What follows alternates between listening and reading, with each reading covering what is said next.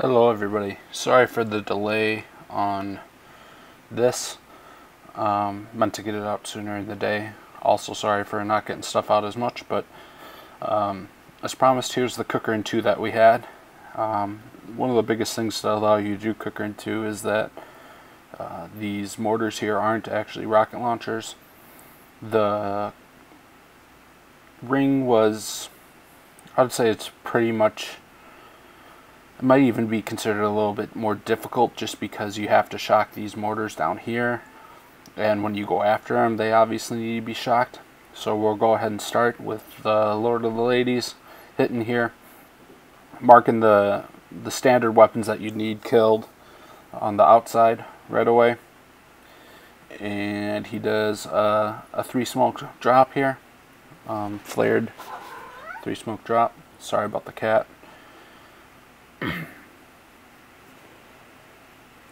From here, um, as you can see, you flare right to the top left, above the top left corner of this cell here.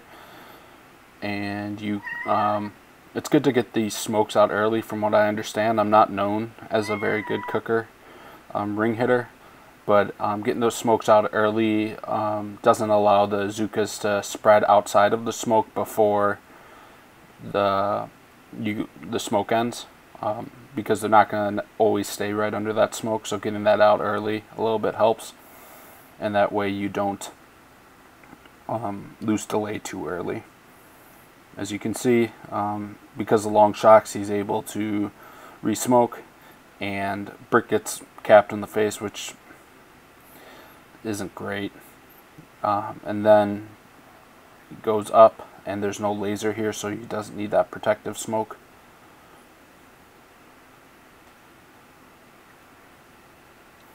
Unfortunately here um, he's going to get his critters out just a tad late um, and the mortars see the girls and take a pretty nice chunk of them.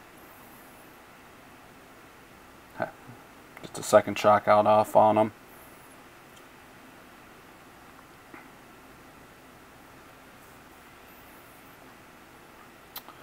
and um, what's great about having these cells down here is um, you can throw critters down on them and um, it doesn't get the lasers in range obviously but also um, gets these boom cans off your way as you can see he's just going to try to clear as much as possible um, on this hit as the next hit um, it is pretty com complex. I'm gonna have to finish up. But fortunately he does end up getting some of these these flamers here which was a huge help. I, I did the next hit and it was a huge help there. Just clearing mines now. Um, he actually had one barrage but ran out of time.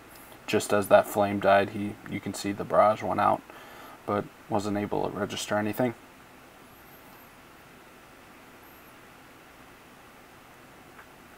Um, and here's my hit. So what we, um, the biggest problem with this hit was actually these being flames and not mortars, or sorry, flames and not cannons. Um, so what I tried to do, and kind of successfully or kind of not, was um, drop just three boats on this side to hopefully clear these flames um, without getting into range. Um, you'll see here that couple get in range and a whole bunch of girls get toasted, which was unfortunate. But I knew those had to go down. And then I dropped the rest of my boats a little bit farther to the left, and the reason for that was I wanted to get this um, this flame passively without having to flare it or shock it or anything. And then as soon as that um, boom can went down, I flared back down. Um, I end up using like all the delay on this thing a little bit lucky that I didn't get ripped uh, ripped pretty good. Long shocks were awesome here. Um, had to, and I was hoping to to only have to use one, but I flared a little, little bit too far to the left, and um, not enough girls were targeting the shield there. On that second shock, I made sure because the girls on the left side were getting closer to get these mortars. Fortunately, these weren't lasers here. Then came over here to collect some GBE. To be honest, I didn't scout this mine, and that's why I flared. Otherwise, I would have just let them passively spread in. Flared back down to the bottom. As you can see, you got all my mines clear and everything. Because there's a um, shock blaster and boom cans here, I decided to go with bullet, especially since it wasn't a super high um, core health. Came in at a little bit too much of uh, an angle, and um, I guess because they decided to wrap these flamers, which was kind of weird, but not not of huge consequence. Um, when you're doing this, you want to make sure some people flare all the way above, like a little bit to the left of this. But what you really want to make sure of is that um, between the smoke that covers bullet or your scorcher and the girls, you want at least like about a second um, between the, the two. Um, the reason for that is you want to make sure the lasers get locked onto bullet.